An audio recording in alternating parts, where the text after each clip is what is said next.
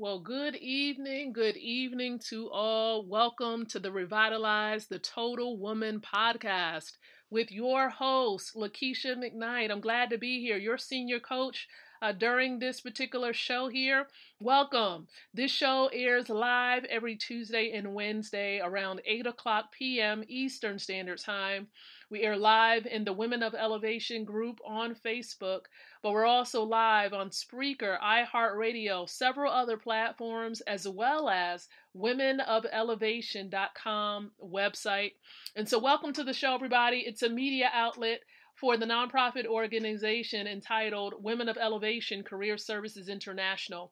And our whole mission is to empower women like yourselves with the tools to be able to create, relate, and elevate so you can walk in your God given purpose and truly live your dream lifestyles. So, welcome to the show, everyone. Those listening in live and catching the replay, welcome, welcome, welcome. So, I'm just going to share a bit of information tonight uh, and also give you a heads up as to what is to come. So, Many of you know that we, during the month of May, we're helping you by giving you some tips, some keys to having healthy personal relationships, healthy personal relationships. So if you're engaged, if you're dating, uh, if you are just newly married, or maybe you've been married for some time, these particular strategies will be helpful for you. And so we've been sharing strategies, and I know tonight we're talking about the sixth key to having a healthy, healthy personal relationship. And we're going to talk about the big P word. So, for those of you who are watching by way of the group, you see what that P word is, and that is patience. Patience. That's right. Patience, everybody. So, let me just share with you a little bit about it. All right. So, no one belongs to you. No one belongs to you. So, you can't control anyone either. So, despite how hard you try to persuade or manipulate another, to respond and react, you know, in a way you want, they won't and they don't. Everyone thinks, feels, and acts in their own way, on their own time. See, if you try to rush someone's process or push them to do something they don't want to do, they will feel pressured. Now, when a person feels pressured, they feel unsafe, they feel unloved, they feel unable to, to give love they will no longer be themselves, really. And when someone is not themselves, they are not honest. So without honesty, you know, love dies as well as, you know, as the relationship. So the most important thing you can do for the person you love is to give them space. You know, when a person has space, they feel free. You know, free to, free to feel, free to think, free to do what they love and to be who they are in their own way on their own time and they will want to share themselves with you. So remember this remember, love is not in a rush, it has all the time in the world.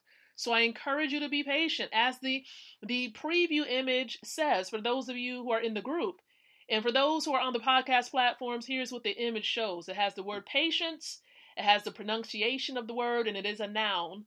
And the image says it's a virtue the ability to stay without complaining at a place you rather would like to leave for a long period of time. So in other words, you know, just having just having patience, meaning meaning taking your time, giving time. Okay, so be patient, no matter what it may be. It, it's not even just based folk just only on relationships, but with anything in life, we really should have patience. So understand patience truly is a virtue, and it will definitely help you to have you know, a healthy, thriving relationship. And I know it's helped me personally, you know, as being married for over 14 years now, definitely having to be patient with my husband. And I know my husband being patient with me. So you got to have patience. And for those of you parents out there, you got to be patient with your kids as well. So again, day by day, we're taught by the Most High, by God, you know, to be able to build and really develop this this virtue called patience. So I appreciate each and every one of you. And please take note and remember yes, we are gearing up and preparing for the panel event. It's going to be an amazing live stream where we have people on the platform giving and sharing their experience and relationships. And so we're going to be really coming in contact and really connecting with people professionals, and they don't have to be people who uh, are like counselors and relationship therapists, although that may be helpful. You know, we are definitely open for those of you who've had tons of experience and even for those who may be newly married to share of your experience. And so definitely stay tuned. We're go- we'll be in contact with those of you specifically who are also in the Women of Elevation group. We're going to be reaching out to you and and also just reconnecting and seeing how things are going for you during this time of quarantine. So it's been a while since we've connected, and so we're going to try to definitely reconnect with each and every one of you. See, it's our job not only from our end but from your end as well to remain plugged in. All right. And so, again, thank you so much for those who catch the replay. Thank you so much for tuning in to the stream on tonight. And so, we'll be back next week with some more great content to help you grow as women and to really have successful, healthy relationships within which, in return, will also help you to have a thriving career. So, thank you so much. Be sure to re- remember to check out the website, which is www.womenofelevation.com for more current updates. Be blessed and enjoy the rest of your week.